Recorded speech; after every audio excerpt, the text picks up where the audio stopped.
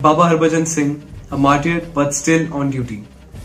My 50 years of service is not just a story to forget, but still many of you don't know me, and that's the only regret. Things are temporary, moments are fragile, situations are complicated, but time slowly flies.